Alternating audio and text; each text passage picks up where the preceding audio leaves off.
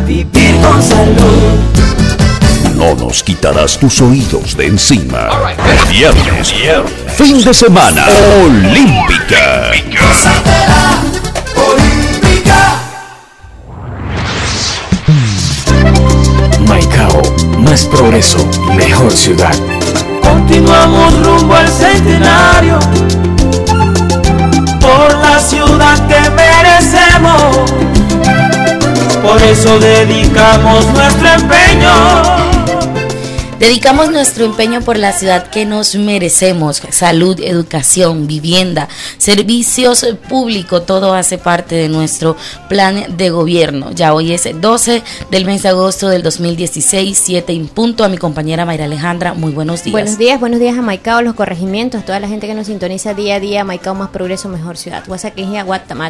Bueno, iniciamos en esta mañana eh, con una llamada que tenemos desde la capital de Bogotá, nuestra directora de planeación municipal, la doctora Caterine Iguarán, quien nos tiene una excelente noticia. Hace dos días ella se reunió en la capital del departamento con la ministra de Vivienda, Elsa Noguera, y son buenas noticias los que nos trae para el municipio. Con los buenos días, doctora Caterine, cuéntenos cuáles son esas buenas noticias.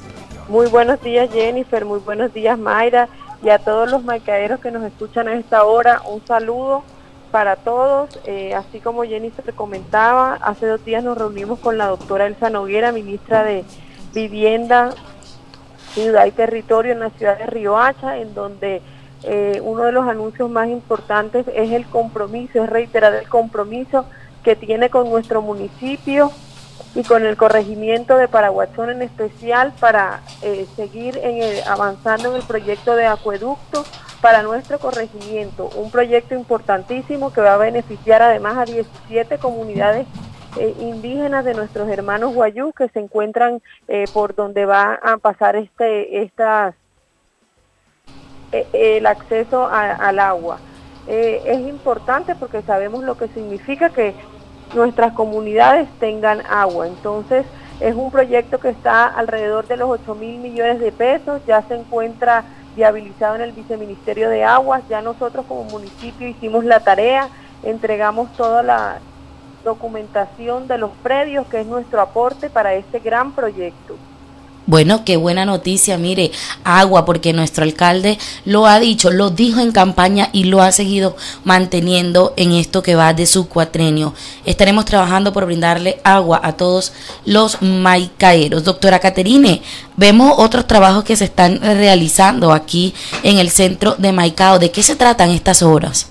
Sí, además, eh, Jennifer, con la ministra Elsa Noguera también reiteró el apoyo para los proyectos de vivienda que ya están radicados en el ministerio, de los cuales radicamos dos para, para nuestro municipio, para Maicao, para la cabecera de nuestro municipio y un proyecto de vivienda para el corregimiento de Paraguachón. Así es, en, en nuestro municipio también venimos desarrollando otros proyectos eh, para darle solución al tema del agua y saneamiento vasco, como lo son las obras de, rehabilitación de las redes de alcantarillado en la zona centro. Ya llevamos varios eh, tramos intervenidos, vamos digamos en el cronograma de ejecución vamos bien, vamos a tiempo, eh, pues digamos hacerles un llamado a la comunidad y pedirles que pues sabemos que estos trabajos en ciertos momentos pueden llegarnos a incomodar, pero sabemos que son para tener y prestar mejores servicios, servicios de calidad, que es lo que queremos. Al igual estamos trabajando para darle eh, solución, digamos, a todas esas necesidades, por lo menos en el tema de equipamiento, y vamos avanzando. Pronto estaremos inaugurando nuestro parque en el corregimiento de, de Carraipía. Eh, con las obras hemos querido llegar a todos los rincones, pues tanto del casco urbano como de la zona rural de nuestro departamento.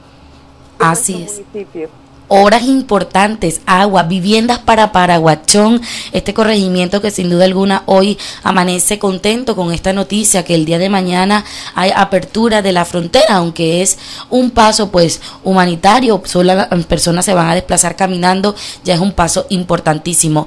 Doctora Caterina, le deseamos muchas bendiciones en Bogotá, que siga gestionando, así como dijo nuestro alcalde hace dos días, porque tenemos que venirnos aquí a Bogotá a gestionar los proyectos para nuestro municipio. Na buchistu madrashkipu ka planeación muna ka tsampolo akara chimuin comunidades ya la ma- mapa ya las pejes na imparwechon na chashia wata na chabogota chaja sukua petra winka ejer tra polo akara chimuin comunidades eh, en tu win simuin chayas spuna muy paro hecho tamusia eh achaja na sukua ipo wane michi eh proyecto de vivienda muna katsan ya tramich kar ya rami ya paro hecho ya hnaiki ya tamusia ta ya está ka ta ya está waya kar ya ya maiko puna senaiki katerin waranshki putra mm, dire tra planeación muna katsan ta achaja ka hamai hati mai sukua ipa ta ya está wakats ma tu mich kar ruwin kar spushware Bueno, la doctora Caterina, un feliz resto de día, que Dios nos las bendiga. También tenemos un espacio para nuestros líderes comunales.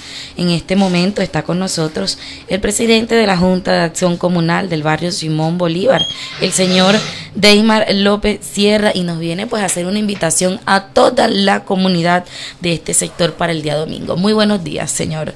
Buenos Deimar. días. eh, primero que todo, darle gracias a Dios. Mi nombre es Diemar Alfredo López Sierra Ortiz, presidente de la Junta de la Junta de Vivienda Comunitaria del barrio Simón Bolívar, invitando a mi comunidad en general a una gran jornada de aseo y embellecimiento de, nuestro barrio y alrededores del hogar geriátrico. El día, el día 14 de agosto, desde las 7 a.m. hasta las 3, con sancocho incluido. La finalidad o idea de, este, de esta jornada es integrarnos como familia, involucrarnos, involucrar a jóvenes y chicos a esta gran jornada. Es, hemos invitado al señor alcalde José Carlos Molina, miembro de la administración municipal, gracias a la doctora Yolima Loaiza, coordinadora del hogar geriátrico, por su colaboración con nuestra comunidad y el apoyo mutuamente a esta causa.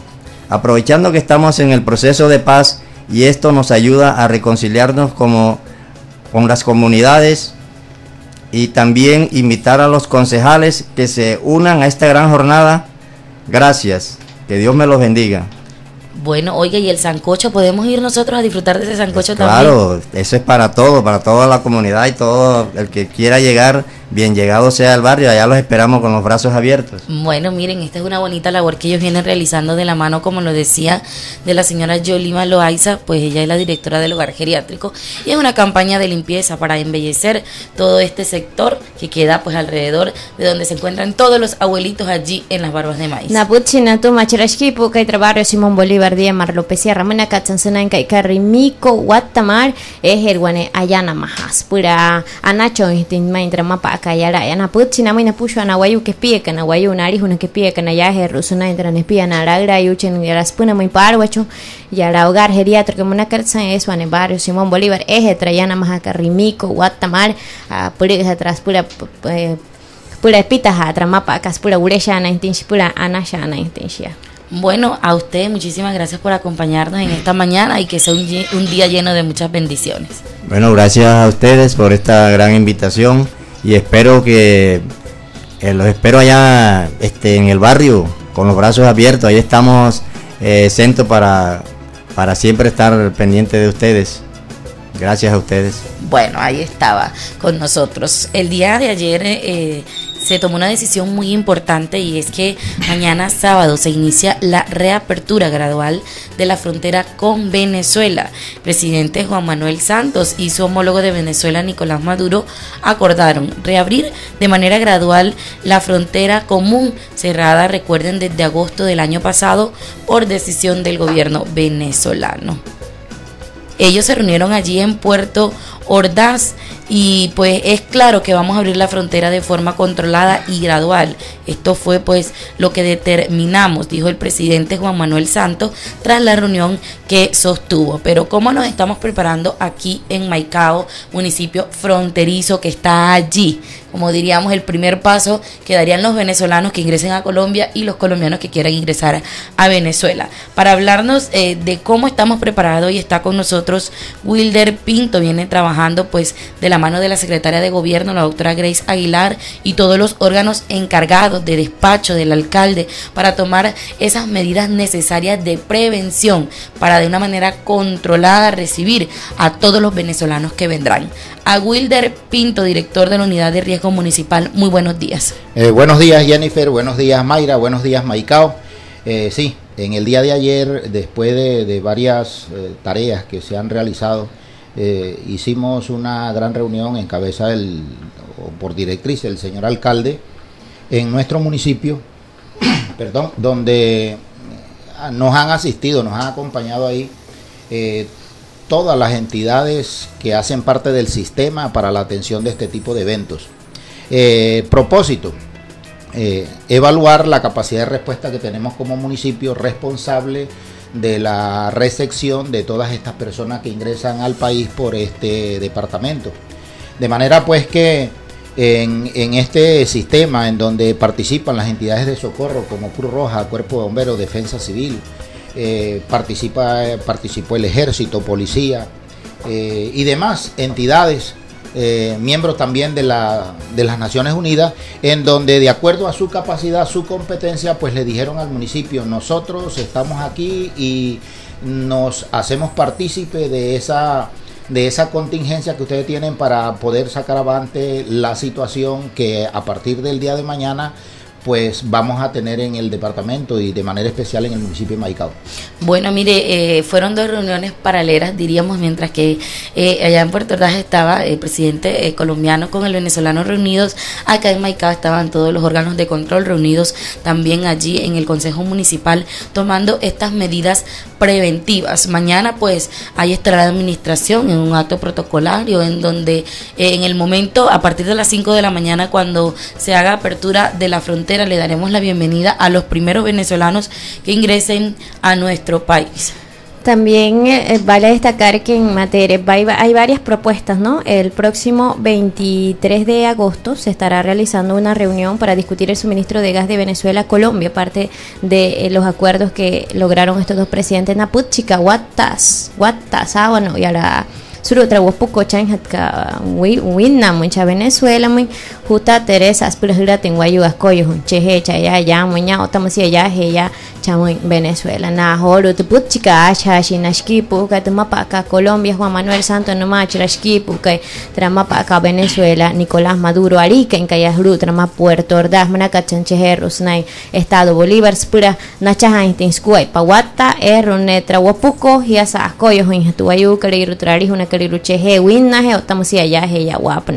Santos anunció también eh, pues eh, que el sábado eh, se abrirá la primera fase de la reapertura con la habilitación solamente del paso peatonal y pues en todas las fronteras de Colombia con Venezuela y esto será entre las 5 a.m. hasta las 8 p.m. hora colombiana. Lo que quiere decir es que pues a recibir a los familiares, a ir a visitar a la familia que tienen allá.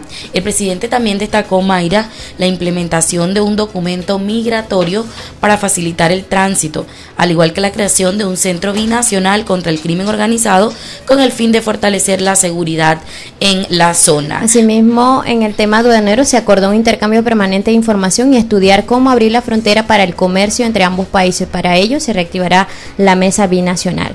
Así es, con respecto a los temas económicos, el mandatario precisó que habrá estaciones de gasolina en territorio colombiano que venderán el combustible en un precio inferior. Nuestro alcalde José Carlos Molina, recuerden que él se encuentra en la capital Bogotá, luego pues que hizo allí su intervención en la comisión segunda de la Cámara de eh, la Cámara de Representantes, en donde ya allí planteó pues todas estas eh, situaciones que se discutieron en estas mesas eh, del plan Apertura Frontera que se realizaron aquí en Maicao y en donde se plantearon todas las situaciones de que vive Maicao, que vive el pueblo maicaero, para que el gobierno nacional las tuviera en cuenta en ese encuentro el día de ayer. Wilder, ¿estamos entonces preparados el municipio de Maicao para esta reapertura el día de mañana? Estamos en alerta amarilla para el tema de la apertura de la frontera. En el día de mañana, a partir de 5 de la mañana, la sala de crisis que hoy está activa eh, con motivo de la declaratoria de calamidad pública por sequía, eh, se le suma el, tema este de frontera y entonces nos trasladamos para Paraguachón, no para montar un puesto de mando unificado una ruta de atención. No habrá aún una oferta institucional si no se considera necesario. Mañana estaremos haciéndole monitoreo, ojalá no sea traumático, todo transcurra en calma como lo esperamos, como lo tenemos planificado y de ser necesario pues entonces moveríamos a todas las instituciones, abriríamos un puesto de mando unificado, estaría una oferta institucional allí y estaríamos entonces direccionando pues todos los servicios desde este punto en frontera. Con esto, Mayra, eh, quiero decirles que está demostrado. Nuestro alcalde sí quería que se abriera la frontera, pero en estas condiciones, con estos diálogos en donde se fuera esto un ganar, ganar. Un ganar para el gobierno venezolano, colombiano, pero también para este pedacito de tierra aquí, Maicao, como lo dijo nuestro alcalde, el único que ha ido a Bogotá allá a decir cuáles son los problemas y cuáles son las soluciones que se deben hacer para mejorar la calidad de vida de los maicaeros. Nos despedimos, Mayra. Anaya el próximo martes. Martes, lunes festivo. Nos escuchamos por acá. Aportarse bien este fin de semana, si va a conducir, entregue las llaves para así, pues aminorar estos índices de inseguridad, de alcohol, cuidado con los que manejan en moto en estado de alcoramiento. No nos quitarás tus oídos de encima. Viernes, fin de semana, Olímpica.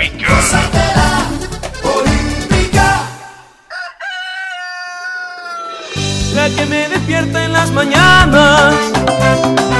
No la cambio porque es la mejor. Temprano es más bacano. La gente está escuchando. Temprano es más bacano. Tu emisora te está levantando. Temprano es más bacano. Escucha mi emisora que temprano es más bacano. Temprano es más bacano. En la número uno olímpica.